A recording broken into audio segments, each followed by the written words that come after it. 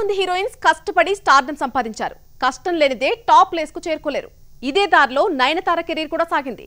యాంకర్గా మొదలుపెట్టిన ప్రయాణం సౌత్లోనే top heroine స్థాయికి చేర్చింది. ఆమె రీల్ రియల్ లైఫ్ అంత సాఫీగా ఏమీ సాగలేదు. ఎన్నో అప్స్ అండ్ డౌన్స్ చూసింది. మానసికంగా శారీరకంగా ఎన్నో ఇబ్బందులు ఫేస్ చేసింది. అన్నింటినీ పాఠాలుగా నేర్చుకున్న నయనతార ముప్పై ఏడవ సంవత్సరంలో ఒక ఇంటిదైంది. చాలా మంది హీరోయిన్స్ మాదిరి నయన ప్రస్థానం కూడా మోడలింగ్ నుంచి ప్రారంభమైంది. ఓ టీవీ ఛానల్లో యాంకర్గా వర్క్ చేసింది. అప్పటి నయనను ఇప్పటి ఫోటోతో పోల్చుకుంటే నయనేనా అన్న అనుమానం కలుగుతోంది. పర్సనాలిటీతో పాటు జీవితం నేర్పిన పాఠాలతో మెంటల్గా మెచ్యూరిటీ సాధించింది. కాలేజీ రోజుల నుంచే మోడలింగ్ చేసే నయన్ను చూసిన మలయాళీ డైరెక్టర్ సత్యన్ అంతిక్కాడ్ మనసిన్ నక్కరే అనే సినిమాలో హీరోయిన్గా ఆమెకు తొలి ఛాన్స్ ఇచ్చాడు. ముందు నుంచి సినిమాలపై పెద్దగా ఇంట్రెస్ట్ లేని నైనా ఒక్క సినిమాలో చేద్దామనుకొని కెరీర్ ప్రారంభించి సౌత్ ఇండియా సూపర్ స్టార్గా ఎదిగింది. తక్కువ టైంలోనే మోహన్ లాల్ మమ్ముట్టి రజనీకాంత్ వంటి సూపర్ స్టార్స్తో జతకట్టే అవకాశం దక్కించుకుంది. రజనీకాంత్తో నటించిన చంద్రముఖి నయనకు గుర్తింపు తీసుకొస్తే గజనీ సినిమాతో యూత్ను ఆకట్టుకుంది.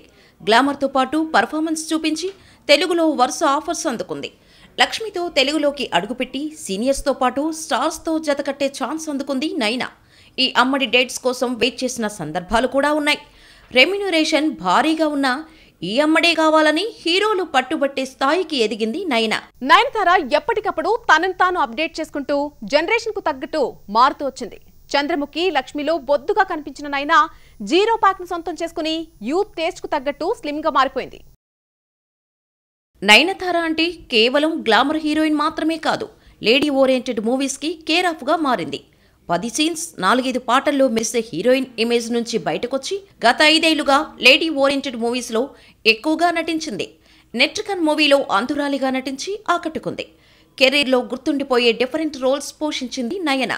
ఇక పర్సనల్ లైఫ్లోకి వస్తే రెండు ప్రేమ కథలు నయనతార మనసును గాయపరిచాయి. కెరీర్ స్టార్టింగ్లో సింపు ప్రేమలో పడింది. ప్రేమను అర్థం చేసుకోని సింపుతో బ్రేకప్ చెప్పేసింది. ఆ తర్వాత ప్రభుదేవతో ప్రేమ పెళ్ళి వరకు వెళ్ళి ఆగిపోయింది. ప్రభుదేవ కోసం మతం కూడా మార్చుకుంది.